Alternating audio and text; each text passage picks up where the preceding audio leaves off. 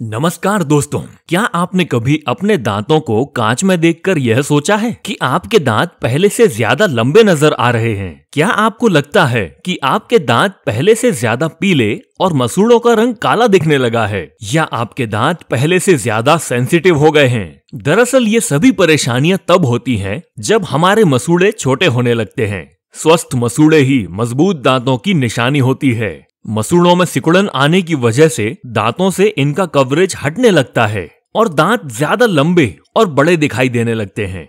कुछ लोगों के मसूड़े जन्म से ही ऐसे होते हैं। लेकिन बाद में ऐसी समस्या हो तो ये जिंजीवल रिट्रैक्शन का लक्षण हो सकता है। जिंजीवल रिट्रैक्शन दांतों में होने वाली एक ऐसी बीमारी है, जो आजकल काफ़ी लोगों को हो रही है। लेकिन ज़्यादातर लोगों में इसकी जानकारी न होने की वजह से हम इसे ठीक से समझ नहीं पाते। और बाद में दांतों में दर्द और झंझनाहट की समस्या का सामना करना पड़ता है। यह समस्या मसूड़ों का साइज़ छोटा और मसूड़े कमज़ोर होने तथा दांतों पर इसकी पकड़ कम होने की वजह से होती है।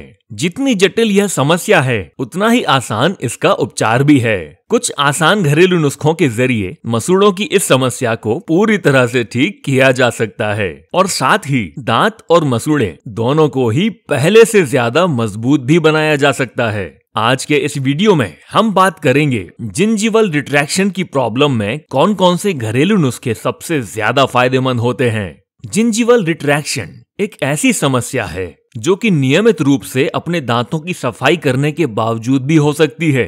इसलिए वह लोग जो नियमित रूप से अपने दांतों की सफ़ाई करते हैं, ऐसा बिल्कुल ना सोचें कि हमें यह प्रॉब्लम नहीं हो सकती। दरअसल यह समस्या गलत खान पान जैसे कि गर्म और ठंडा बहुत जल्दी में खा लेने से, या अपने दांतों की सफ़ाई करते वक्त ब्रश का अधिक ज़ोर लगाने से, या गलत दिशा में इस्तेमाल करने से उत्पन्न हो सकती है। इसके इलाज के लिए जो पहला नुस्खा है, वो है एलोवेरा। ताज़ा एलोवेरा हमारे दांत और मसूड़ों से जुड़ी हर तरह की समस्या में बेहद फ़ायदेमंद होता है। एलोवेरा में एंटीबैक्टीरियल प्रॉपर्टीज़ पाई जाती हैं जो मसूड़ों की कमज़ोरी को दूर करने के लिए काफ़ी उपयोगी मानी जाती है। इस समस्या में ताजे एलोवेरा का हमें दो तरह से इस्तेमाल करना होगा, मसाज और कुल्ला। मसाज के लिए ताजे एलोवेरा के जेल को निकालकर इसे अपने दांतों और मसूड़ों पर मंजन की तरह यूज़ करते हुए हल्की उंगलियों से रोज़ाना सुबह 10 से 15 मिनट तक मसाज करें और फिर एक चम्मच एलोवेरा जेल, दो चम्मच पानी और एक चम्मच नारियल के तेल को आपस में मिला लें और इस तैयार मिश्रण को मुँह में रखकर एक मिनट तक कुल्ला करें। रोज़ाना इस प्रक्रिया को दोहराने से मसूड़ों से जुड़ी हर तरह की समस्या में तेज़ी से सुधार आना शुरू हो जाता है। Green tea. ग्रीन टी हमारी हेल्थ के साथ साथ ओरल केयर के लिए भी काफ़ी उपयोगी होती है। घाव और इन्फेक्शन की स्थिति में इसका इस्तेमाल करना काफ़ी फ़ायदेमंद साबित होता है। रोज़ाना दिन में हल्की गर्म ग्रीन टी पीने और साथ ही ग्रीन टी पी लेने के बाद बचे हुए टी बैग को अपने मसूड़ों पर पाँच से दस मिनट के लिए रख लें। ऐसा करने से मसूड़ों का कालापन कम होता है और साथ ही जिंजीवल रिट्रैक्शन की प्रॉब्लम में सुधार आने लगता है।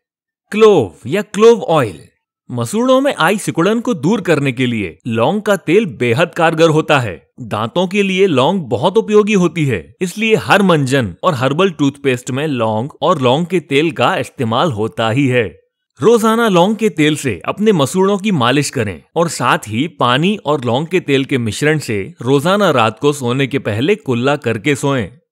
विटामिन सी मसूड़ों की जिंजिवल रिट्रैक्शन की प्रॉब्लम शरीर में विटामिन सी की कमी के कारण भी होती है। तो अपनी डाइट में अधिक से अधिक विटामिन सी से युक्त चीज़ों का सेवन करें। इन सभी नुस्खों का नियमित रूप से इस्तेमाल करने के साथ ध्यान रहे कि अधिक खट्टे, बहुत गर्म या ठंडी चीज़ें, जैसे नींबू, soda, cold drinks, ice cream, इन सभी का सेवन पूरी तरह बंद कर दें।